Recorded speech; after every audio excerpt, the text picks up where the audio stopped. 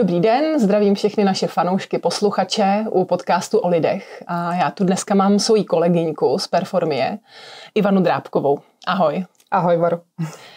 Ivana Drábková je pro mě uh, někým, kdo už dlouhá léta usiluje o to, aby ve firmách bylo něco, co vlastně nazývá bezpečným prostředím. Uh, začala jako náborářka, trenérka nováčků v prodejnách eh, farmářských potravin.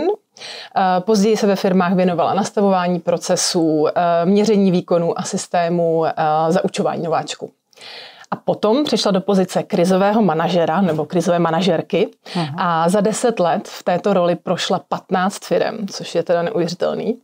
A i proto, že sama zažila toxické prostředí šéfa i kolegy, bojuje dneska jako konzultantka v Performii za to, aby šikovní lidé měli spravedlivé prostředí pro práci a šéfové si nenosili starosti se zaměstnanci domů.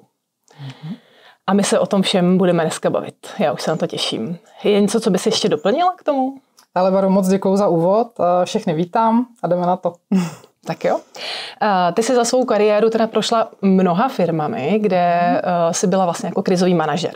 A mě by zajímalo, když se na to takhle podíváš zpětně, co je taková největší achilova pata šéfů? Achilova pata? Hmm.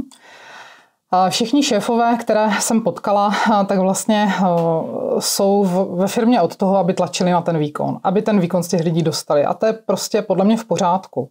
Mhm. A někdy však, jak se jde za tou produkcí, tak se stávají situace, se kterými třeba si neví rady, protože oni pracují s lidma.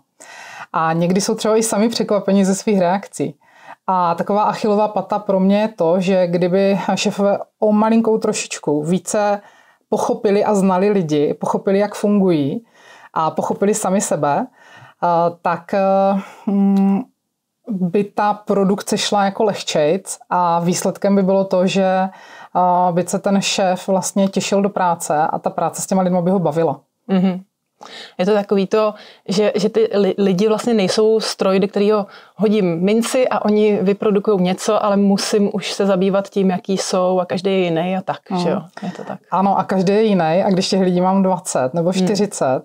tak studovat vlastně ty lidi, tak to je dobrá vysoká škola. Mm. To je docela jo. Uh, mě zajímá, když eh, jako krizový manažer přijdeš do firmy, uh-huh. čím začneš? Jak zjistíš vlastně, jaká je tam ta situace? Uh-huh. A ve směs je to stejné, protože hm, ten šéf má nějakou eh, realitu, nějakou představu. On něco zvládá, něco nezvládl, eh, něčeho by chtěl dosáhnout. Takže my si vlastně povídáme. A ten rozhovor je někdy dlouhý. Mhm. A, a když je tam personalistka, tak ten samý rozhovor udělám s ní, že ona má trošičku jiný pohled. No a hned se jde do procesu, protože já nepřicházím do firm za 5 minut do 12, ale spíš 5 minut po 12. Mm. A když oni znají tu svoji, vlastně ten svůj ideál, tak já hned jdu do náboru, na porady, sleduju tok informací, sleduju vlastně veškeré ty jejich projekty. No a makáme jeden den v týdnu, dva dny v týdnu, jak, jak je domluveno. Mm-hmm. Mně napadá, že oni vlastně na tom začátku možná ani neví, co vlastně potřebují vyřešit. Že jenom jako mají velký problém a teď jako ty potřebuješ s nima přijít na to, jaký je teda cíl toho, kde tam seš, že jo? nebo proč tam seš. Ano, přesně tak. No. Mm-hmm. A když oni ten cíl vidí, třeba eh, jak by to mělo vypadat, tak je to moc fajn, protože se potom můžeme čím dál tím více přibližovat té jejich představě. Mm-hmm. No. To může být možná taková jako první rada šéfů, že když chci něco změnit, musím vědět, kam to chci dostat, že jo? Mm-hmm. Přesně tak. OK. Uh, stalo se ti někdy, myslím si, že asi stalo, že jsi přišla do té firmy a teď si viděla, že ten šéf říká, máme tady takový problém. Uh-huh. A ty si najednou viděla, že je tam úplně jiný problém. Uh-huh. Uh, no, uh, já bych to asi uh, dala na jeden takový zásadní, který vlastně my uh, personalisté, co pracujeme s lidma, a vlastně celá veřejnost vnímáme a čteme v onlineu, v, slyšíme v televizi a to je nejsou lidi. Mm-hmm. Jo? Tak tomu bych dala příklady. V jedné firmě potřebovali 30 operátorů včera. Říkám, mm-hmm. dobře, a, takže a, zadala jsem inzerci, začala jsem tu práci dělat a já jsem vlastně zjistila, že nejsou lidi rovná se, jen nemají v, dobře zorganizovaný celý ten náborový proces. Mm-hmm. A to je od specifikace pozice po text inzerce, kam tu inzerci vlastně dáme, kolik do toho vlastně dáme peněz, jaké otázky píšeme, teda jaké otázky klademe na pohovoru, jak bude probíhat první kolo, jestli oni půjdou do výroby na zkušební den nebo se podívat na exkurzi, kdo je zaučí, podle čeho, tak celý ten náborový proces. A v další firmě to byla výrobní v Praze a tam zase inzerát byl docela v pořádku. Lidi se hlásili a oni tam vydrželi tak den, dva, týden. A tam byl vlastně problémem člověk, který šefoval té výrobě. On byl totální chaotik. A on je dostal do takového zmatku ty chudáky, že oni vlastně, oni chtěli pracovat, ale radši šli jinde. Mm-hmm. Jo? Mm. A slíbila jsem tři příklady. Mm-hmm. a, takže ten třetí, to byla logistická firma a tam bylo potřeba mm, najmout skladníky. A bylo to o prázdninách. A jim se opravdu hlásila nula. Já jsem se dívala na Jobs za červené, co byla nula. Říkám si, to je nějaké divné. Já vím, že jsou prázdniny, jo. Tak jsem v srpnu vydala inzerát a těch lidí se mi přihlásilo nějakých 50, já jsem, eh, požadavek byl 10, tak jsem ty lidi vybrala. A teď jsem eh, v té firmě už byla nějakou dobu, hm, začala jsem chodit do skladu a zjistila jsem, že personalistka vůbec nekomunikuje se šéfem skladu. Mm-hmm a nekomunikuje, znamená, že ona vlastně tam nechodí. Ona nemá tu znalost, co ti kluci musí eh, první měsíc, první tři měsíce zvládnout. Tam nefungoval onboardingový plán. Takže tam byla nekomunikace těch dvou vlastně nejdůležitějších lidí. Mm-hmm. Takže zase to vlastně skončí u toho, že to ovlivňují ty lidi, že jo? Ten, mm-hmm. ten Přesně problém tak. nejsou lidi. Přesně mm-hmm. tak. Zajímavý. Uh, jakou nejtěžší situaci si řešila ve firmě? Uh, nejtěžší.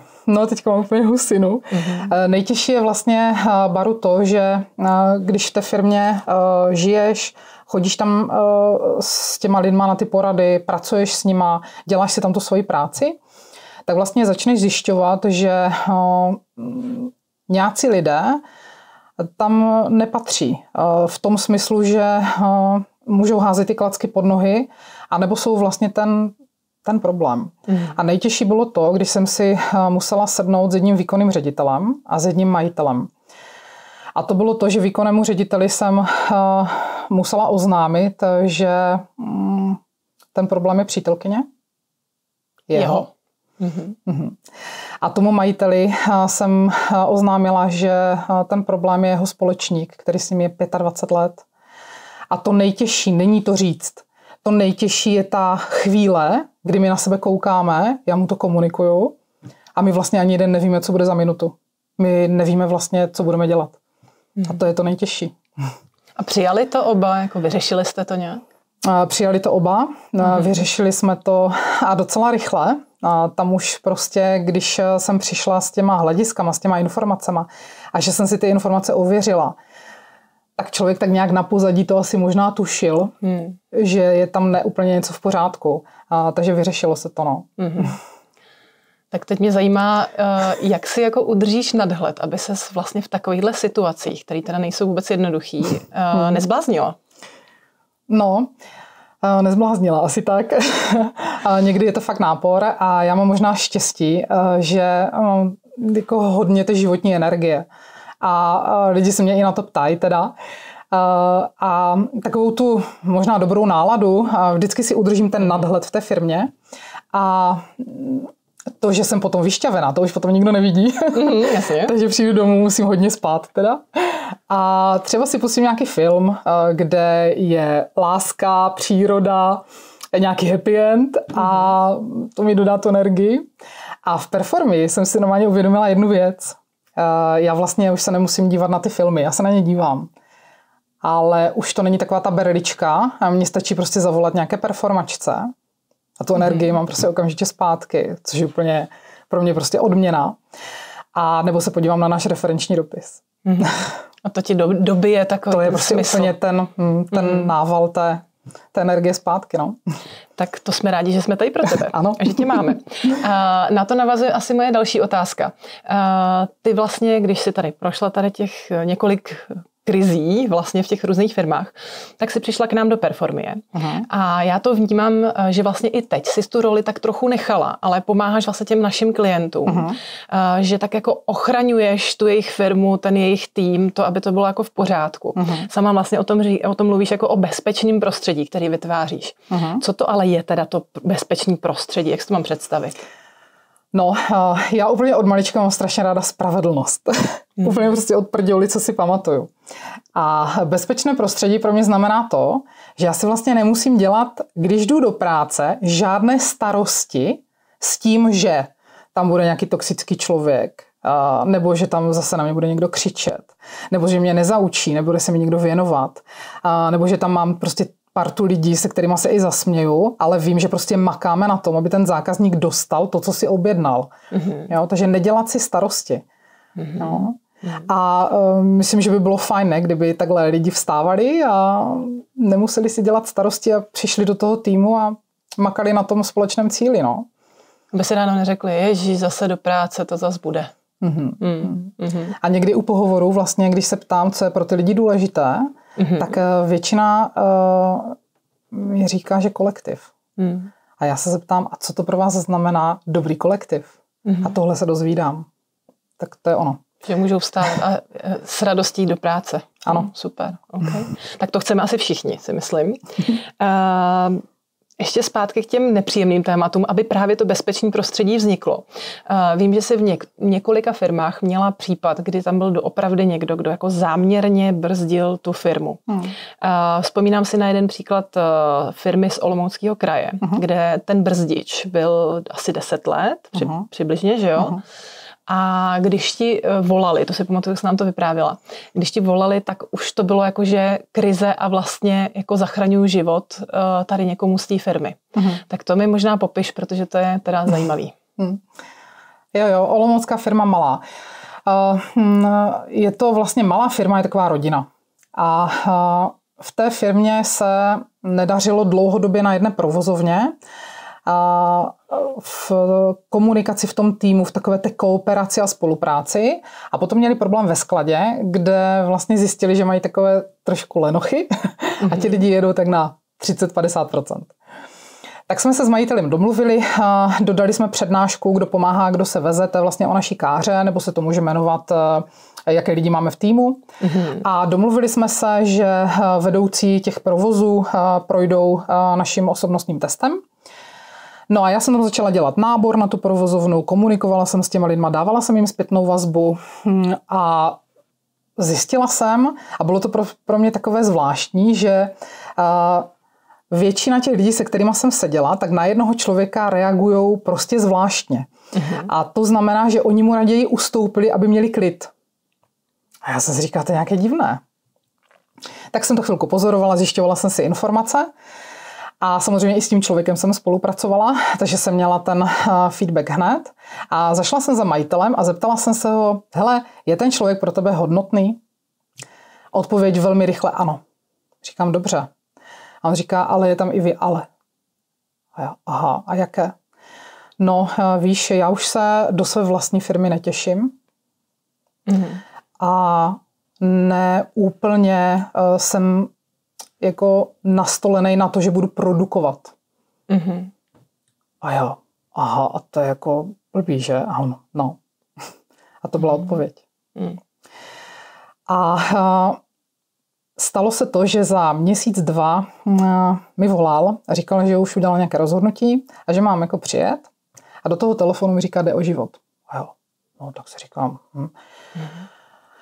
A šlo o to, že já se si vlastně, eh, ono ti to jako nedocvakne, já se si neuvědomila, že některé ty, eh, člověk má různé nemoce, ale některé ty problémy můžou právě souviset i s tím, že ten člověk je vedle tebe, že tě jako drtí. A, tak jsem přijela, hm, domluvili jsme se teda na nějaké strategii a on se s tím člověkem asi za dva měsíce a, eh, normálně rozloučil a Měsíc třeba potom mi volala jedna zaměstnankyně a říká, Ivo, já ti moc děkuji, já si myslím, že to bylo perfektní rozhodnutí, já zase lítám a žiju. Říkám, je, tak to je super, tak gratuluju, jsem na tebe pyšná. A dneska vlastně ta firma po x měsících my můžeme říct, že ona je vlastně stabilizovaná. Dohnali, provozovna dohnala rok 2023 jakoby z červených čísel se dostala do zelených. Mm-hmm. A dneska ti lidi, tam je strašná sranda, když tam přijdeš. A ti lidi vymýšlí věci, jak práci zefektivnit. A majitel vlastně začal eh, špekulovat nad tím, jak ty lidi odměnit za to, že oni se snaží a mu to dává velký smysl. Mm-hmm. Takže to byl ten výsledek. Mm. A to si umím představit, že tohle ti teda zpětně dobije, i když je to v tom průběhu asi docela těžký, že jo? Přesně tak, no. Mm. Co bys teda poradila takovou obecnou radu uh, šéfovi, který vlastně vnímá, že něco úplně dobře nefunguje, možná mm. má nějaký pocity ohledně někoho, není si úplně jistý, mm. co by měl udělat? Co by měl udělat? Hmm.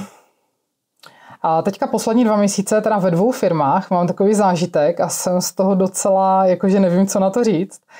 A v jedné firmě to bylo to, že mají plagát naší káry a mají ho několik let v tom tubusu a oni ho nevyvěsili, a protože se bojí reakce.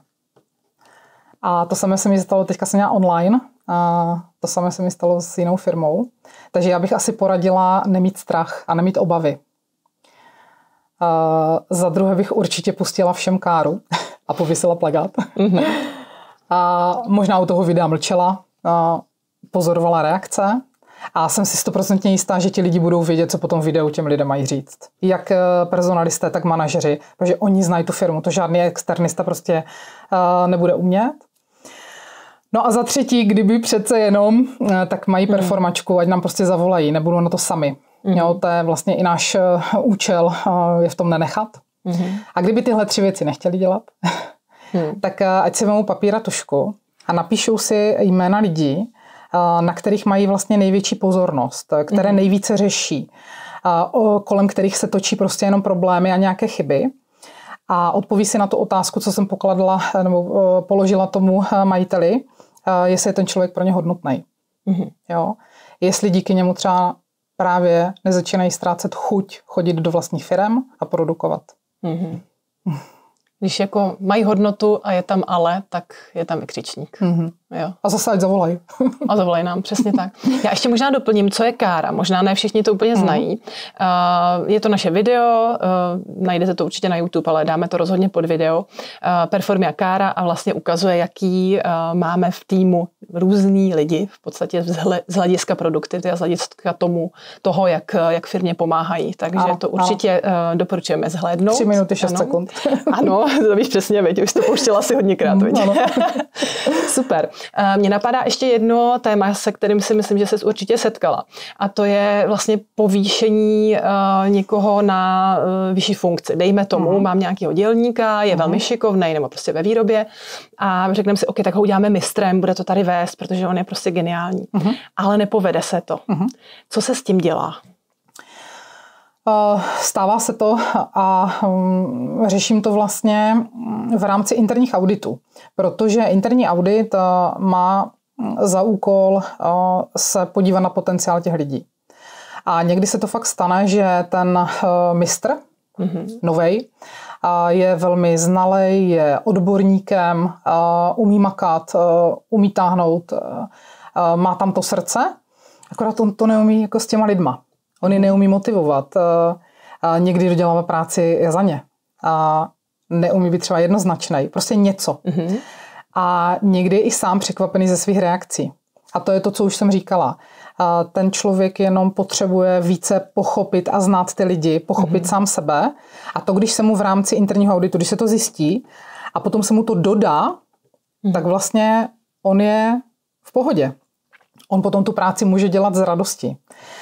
A někdy se stane i to, že on vlastně mi na tom, když se spolu bavíme, tak mi řekne, že není šťastný, ale že byl šťastnější, když byl tam. Mm-hmm. A stalo se to už několikrát, že prostě jsme ho zase dali tam. Mm-hmm. On to byl šťastný a na jeho pozici se prostě vzal někdo o, externí. Mm-hmm. A nebo jsme v rámci auditu našli jiné zlato, které bylo skované někde v koutku. Jo? A to bylo na tu roli určitě. Ano, ano. Mm-hmm. Není to problém, když ten člověk se vlastně vrátí jako kdyby dolů na tu mm-hmm. pozici? Uh, hele, to se musí jako výborně odkomunikovat. Jo? Hmm. Tam musí být jednoznačně uh, s vedením domluvené, co těm lidem řekneme a i on, i on sám uh, si to musí jako zvládnout vnitřně, že jo? Mm-hmm. No. Mm-hmm. Jasně. Okay.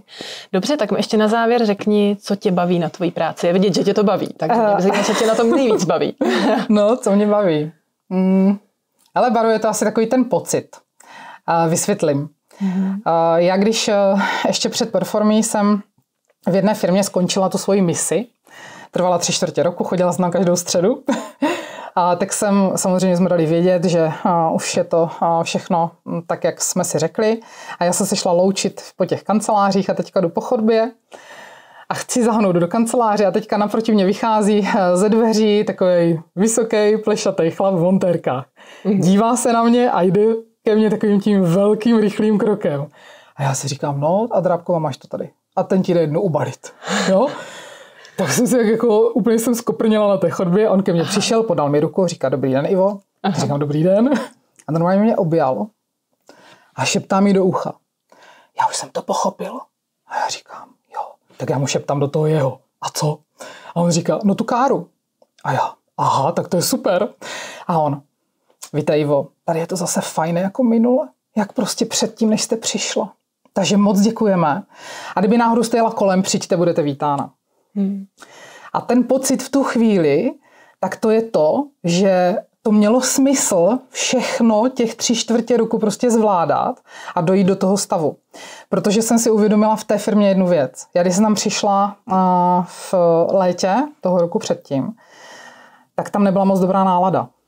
A potom tři čtvrtě roce tam vidíš, jako nechci říct jinou firmu, ale ti lidi tam jsou prostě šťastnější. A o tom to je. A to je taková obrovská odměna pro tebe, hmm. že jo? Věřím. Jo. Já teda musím říct, že miluju tvoje příběhy, když máme vždycky pravidelný meetingy, protože samozřejmě my sedíme za tím počítačem dost často, nebo hmm. tady před kamerou, ale mm. tohle to neznáme, takže já to úplně strašně jako ráda nasávám a poslouchám, protože to je přesně to, co chceme způsobit. Jo, děkuji. A já bych tady možná udělala takovou jako malou reklamu na tebe. Pokud tady máme někoho uh, z firmy, která by chtěla mít takovéhle bezpečné prostředí a potřeba by pomoct uh, a byla ze Severní Moravy, Uh-huh. A teda tím pádem děkuji, že jsi přijela z takové dálky. Uh, tak určitě se ozvěte Ivče, když dáte Ivana Drábková do LinkedInu, tak myslím, uh-huh. že určitě se s tebou můžou spojit, nebo prostě u nás na, na, na našich stránkách. Ano, ano. A já se budu těšit zase na další příběhy z těch firm. Dobře, a já se budu těšit na klienty. tak děkuji moc krát, že jsi přijela. děkuji, Baru. Naschledanou, děkujeme.